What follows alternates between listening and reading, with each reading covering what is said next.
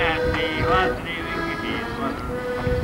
One standing on the quay, and he seen a rooster round and he said, well, this is a load. I'm a